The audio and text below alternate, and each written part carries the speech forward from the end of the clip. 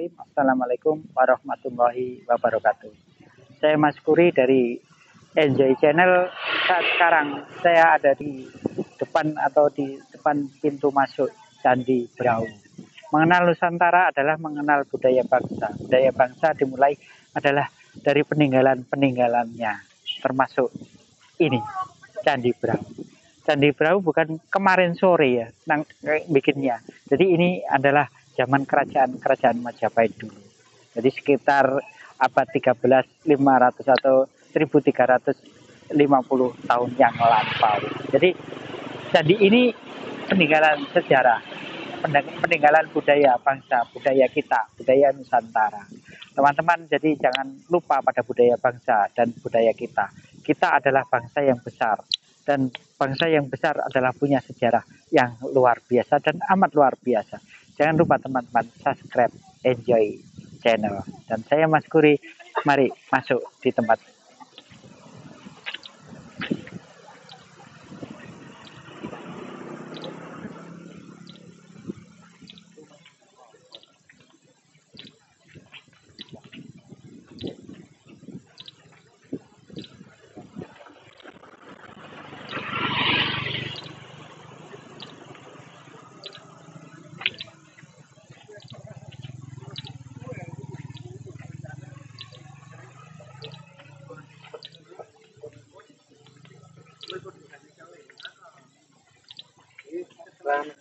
Siang, Pak. Nggih. Masuk kalau masuk tahu tuh Joko Pon. Ini wis kawan. Kawan. 12 ribu. Nggih. Mit.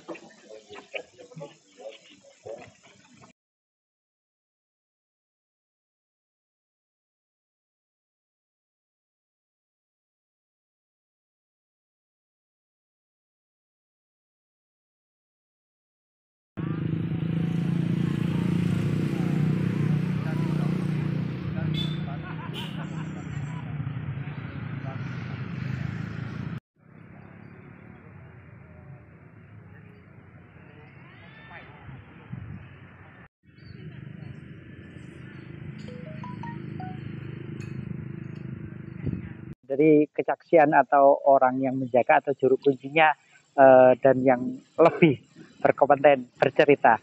Bapak, monggo Bapak silakan, silakan cerita Bapak. Eh, dari ini candi peninggalan ini dari Musedo. Monggo Pak, silakan. Jadi Candi Brau ini merupakan candi yang paling tinggi di wilayah Terulan. Dan candi ini dibangun oleh Raja Pusendo pada abad ke-10 kalau tahun 939 Masehi. Dan ini di antara itu yang dibangun.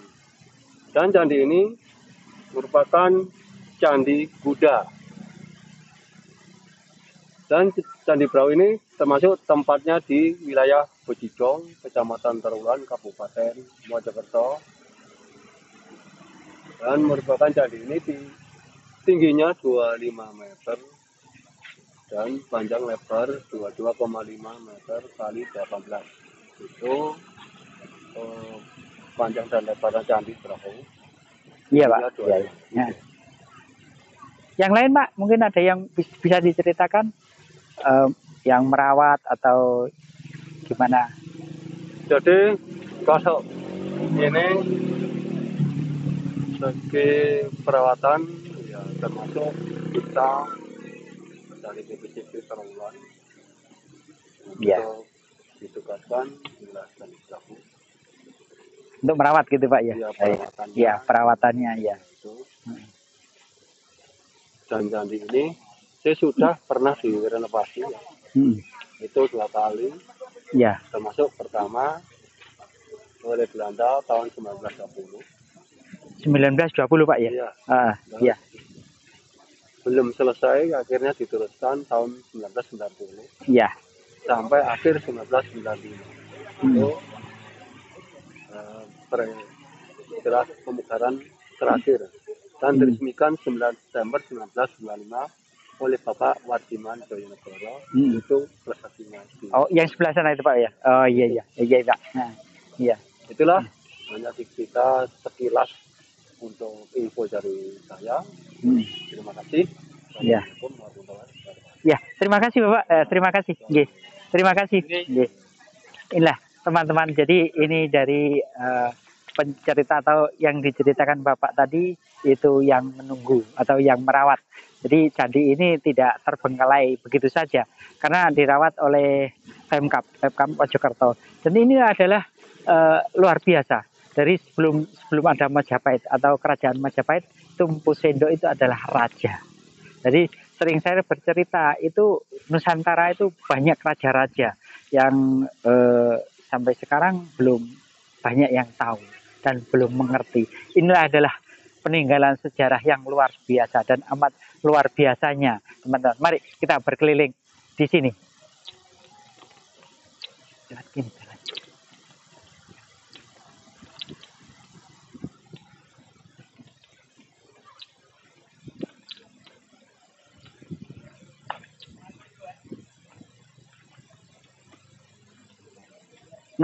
Area ini luas dan terawat. Rumput-rumputnya terawat dan dirawat. Uh, memang ada banyak teman-teman yang ambil gambar untuk pre wedding itu. Ini di antaranya.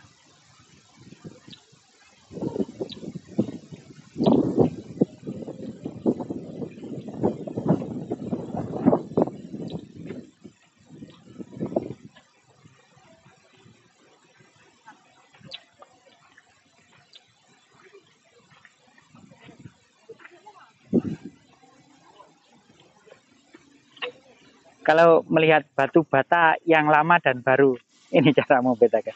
Nah, ini baru, kalau yang ini yang lama, yang lebih dari seribu tahun lampau.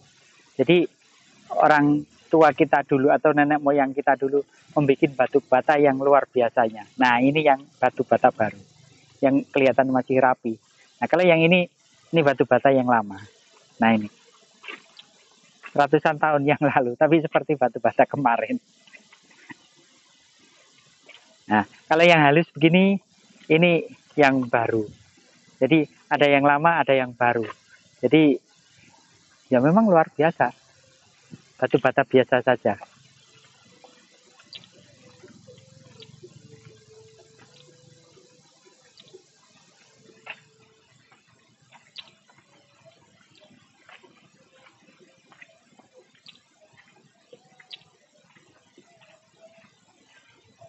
Nah itu teman-teman seperti yang diceritakan Bapak tadi yaitu tadi ini dulunya untuk pembakaran mayat.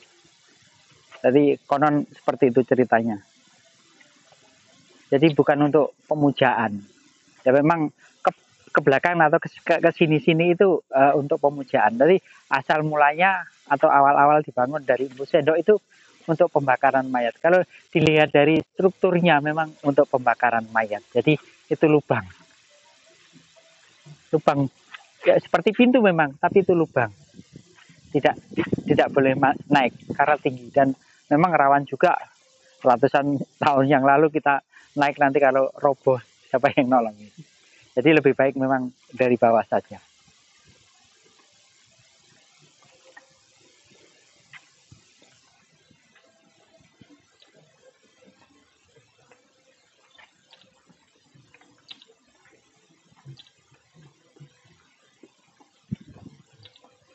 Kita salut dengan teknologi zaman dulu atau orang orang tua kita.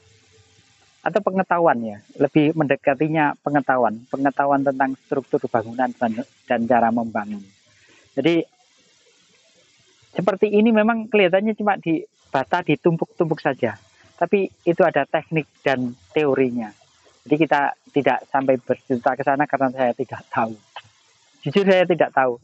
Saya hanya pencerita-pencerita apa yang saya lihat dan apa yang ditampilkan oleh bangunan ini.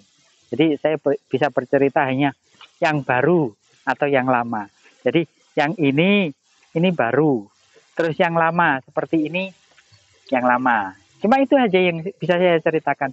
Yang lain-lain ya ini. Ini kropos. Bertanda atau menandakan bangunan ini memang sudah lama sekali. Seribu tahun yang lampau.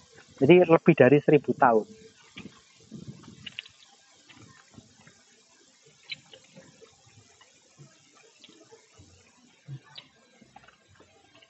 Kalau yang ini batu batu biasa ya seperti tadi, batu biasa. Jadi bukan batu batu sungai atau batu kali. Jadi ini batu batu biasa yang dibakar itu. Jadi kalau di Mesir sana mengenal seperti batu, sebenarnya itu juga dari tanah pasir dibakar. Nah seperti ini. Kalau ini murni tanah, jadi tidak ada unsur pasirnya. Jadi kalau di Mesir itu Mesir kuno itu ada unsur pasirnya dan dibakar. Nah ini, nah ini keropos sudah keropos, dimakan usia. Jadi kalau teman-teman mau lihat gimana terus masa sih ini, ini sudah ratusan tahun yang lalu. Memang ya kelihatannya kelihatan baru. Itulah kehebatan orang tua kita atau nenek moyang kita Nusantara.